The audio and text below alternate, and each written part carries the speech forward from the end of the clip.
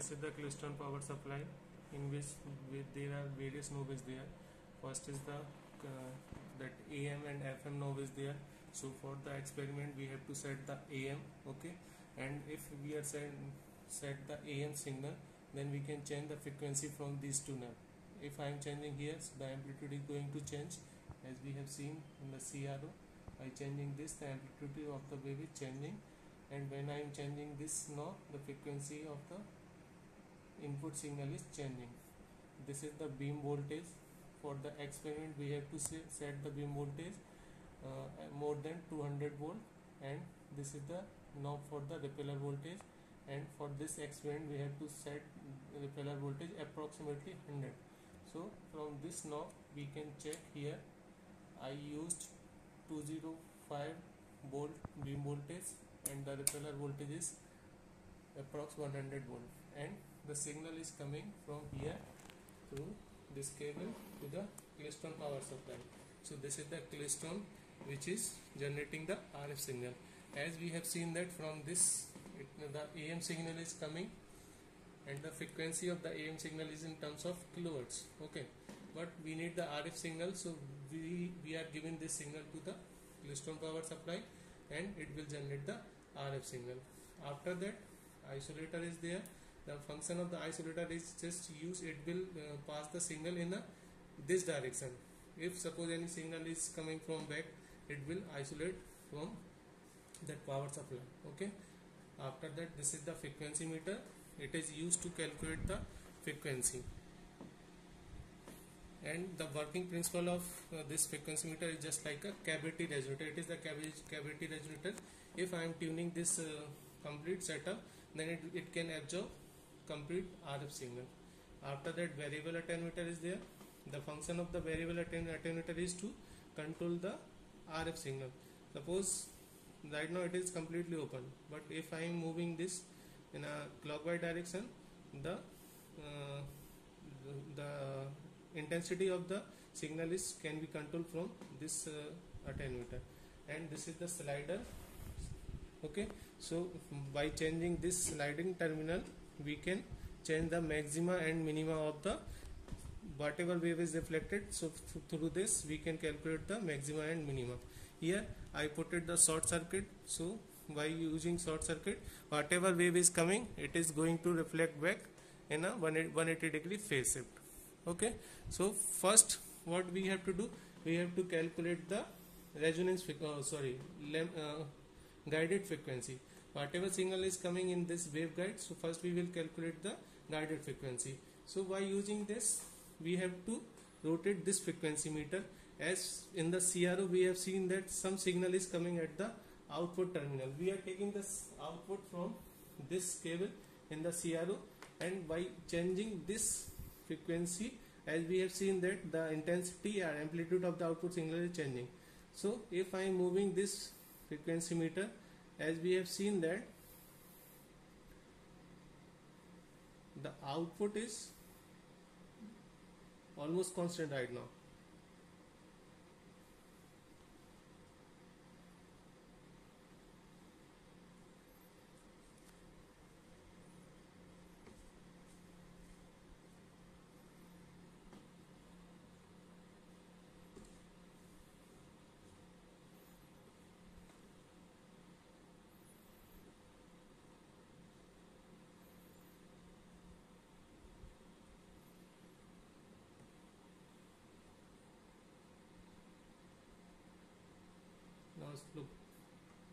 as in the CRO the output is completely zero. Means whatever signal is coming at the input side this frequency meter is absor absorbing all the power. That's why we are not getting any signal at the output terminal. Now what is the next objective? Next ob objective is to calculate the frequency. So here there is one red line is there and there is one black slot is there and as we have seen that this red line is intersecting on between the 8.58 not 8 uh, 9.54 to 9.58 so in the middle we can consider it is the 9.55 okay? Now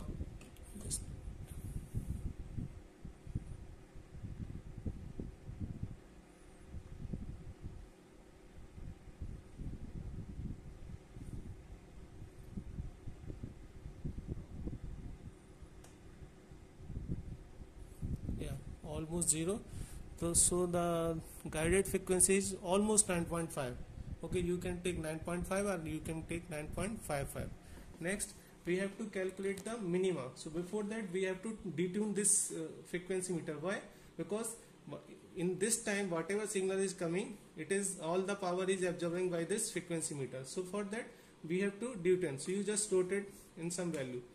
When we are doing the detune then some signal is coming at the CRO now here in the sliding terminal first we have to check the minima we are checking only the minima because in the minimum we are getting the zero if we are calculating the maximum then it is very difficult to calculate so minima for uh, for the calculation purpose we are using the uh, we are calculating the minima okay so i am just putting sliding at completely at the load terminal and when i am moving this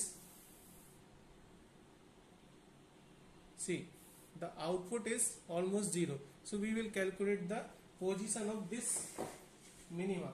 Here here this zero line. Here we can see that this zero line is coincide with 8.1 centimeter. This is the 8.1 centimeter. And in between this there is another line which is called cosine coincidence with that is the sixth line. So the first minima is 8.16 the first is 8.1 is the zero line and the uh, second decimal is the uh, another line. So this is the 8.16 now again I am changing position of this sliding and we have seen that in the CRO the output is increasing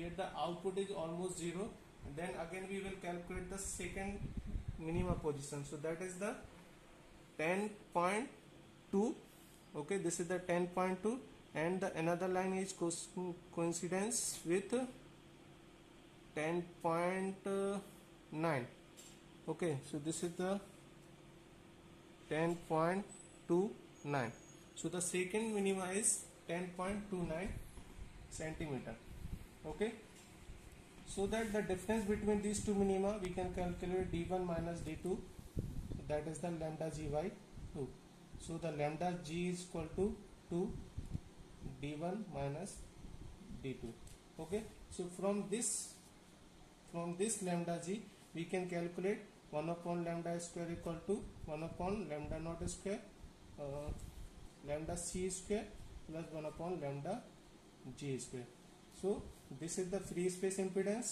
this is the cutoff frequency and this we can calculate the it is the 2A where a is the cross sectional area of the waveguide okay? So this is the waveguide for the x band so the dimension is already there in the literature okay? Lambda g we have calculated from this okay? So by using this formula we can calculate the free space frequency free space frequency okay? So and the next objective is to calculate the VSWR now in order to calculate the VSWR I just connected this uh, output probe to the VSWR meter and uh, I just replaced the short circuit into the termination. And and from the slotted section first uh, before that uh, we have uh, selected the VSWR is just like that it should be the one. And when we are moving this uh, slotted section the at, we have seen that in the VSWR meter the meter is going in the up position okay? So when I am moving right now the meter is reached in the maximum position and again when I am moving it is going back. So that position is called the VSWR of the standing wave whatever it generated okay? So in the VSWR meter we can take the reading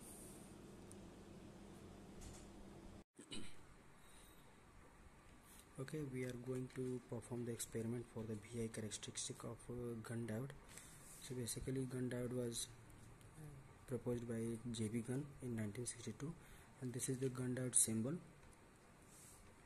and it gives the negative resistance and it is made up of gallium arsenide material and it is based on the n layers. So here is the complete layer of the Gunn diode so at the below we can see heatsink and top side it's a metallic contact. And in between three layers are there which is made up of uh, n-type semiconductor. But top side and bottom side it is a highly doped uh, n-type semiconductor. And, and in between it is a moderately doped n-type semiconductor. So this is the VI characteristic of the diode so in x-axis it is representing the voltage and in y-axis it is representing the current. In this curve we can see when we are increasing the voltage so current is also increasing simultaneously and after reaching at the peak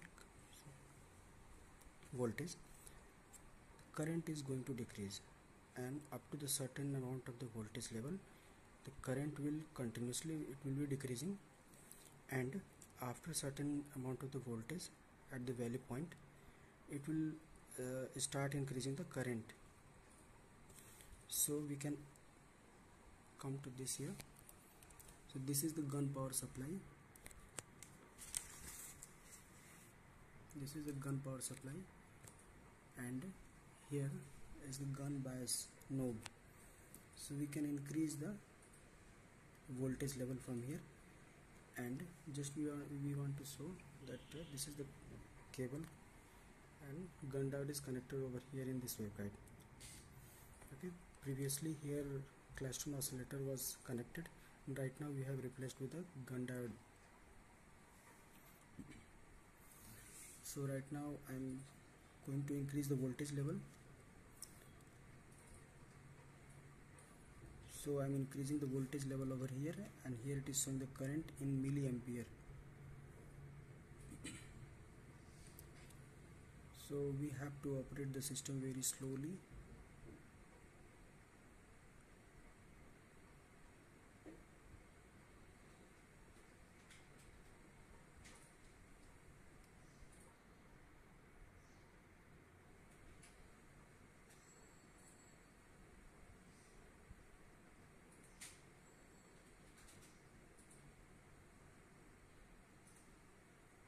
just we can see here at around 4.5 or 4.6 voltage.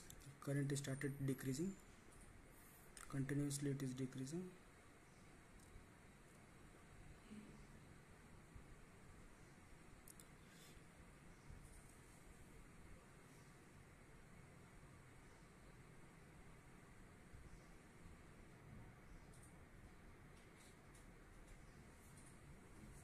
so again we can see here around 5.5 5.5 volt current again increased up to two, uh, 225 milliampere.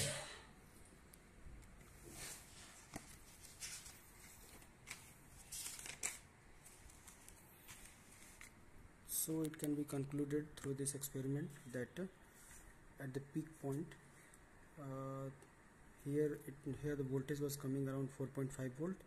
When the peak current was 270 milliampere and after 4.5 volt current started decreasing and around 5.5 volt again current started increasing from 90 uh, 90 milliampere around